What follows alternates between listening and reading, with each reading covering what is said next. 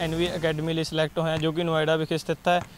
ਤੇ ਇਹ academy America ਵੱਲੋਂ ਸਪਾਂਸਰ ਕੀਤੀ ਜਾਂਦੀ ਹੈ ਇੱਥੇ ਅਮਰੀਕਾ ਦੇ ਕੋਚ ਹਨ, ਜੋ ਕਿ ਬਹੁਤ ਹੀ ਪ੍ਰੈਕ- ਵਧੀਆ ਪ੍ਰੈਕਟਿਸ ਕਰਵਾਉਂਦੇ ਹਨ ਤੇ ਡਾਇਟ ਦਾ ਖਰਚਾ ਸਾਰਾ ਉਹਨਾਂ ਦਾ ਹੁੰਦਾ ਹੈ।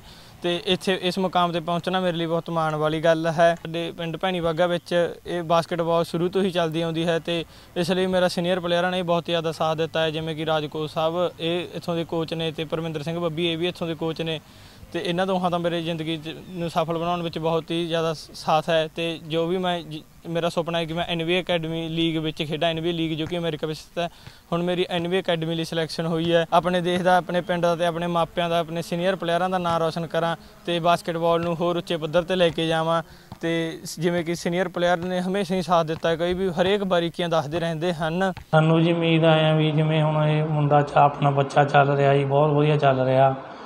ਐਨਮੀ ਅਕੈਡਮੀ 'ਚ ਇਹਦੀ ਐਡਮਿਸ਼ਨ ਹੋ ਗਈ ਤੇ ਗਾਹਾਂ ਨਾਮ ਰੋਸ਼ਨ ਕਰੂਗਾ ਜੀ ਤੇ ਬਹੁਤ ਵਧੀਆ ਖੇਡ ਰਿਹਾ ਹੈ ਤੇ ਹੋਰ ਵੀ ਜਿਵੇਂ ਕਿ ਬਹੁਤ ਵਧੀਆ ਪਿੰਡ ਦਾ ਨਾਮ ਮਤਲਬ ਕਿ ਕੋਚਾਂ ਨੇ ਉਹ ਕਰੀ।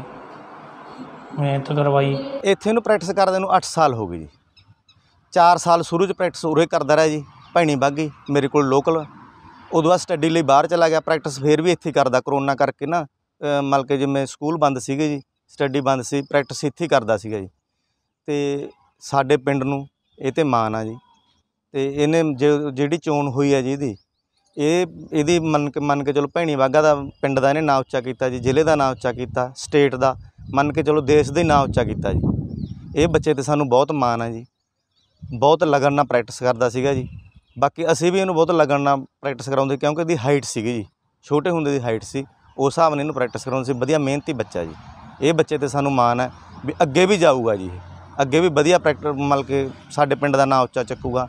ਪਿੰਡ ਦਾ ਕੀ ਆਪਣੇ ਪੰਜਾਬ ਦਾ, ਦੇਸ਼ ਦੇ ਨਾਂ ਉੱਚਾ ਚੱਕੂਗਾ ਜੀ।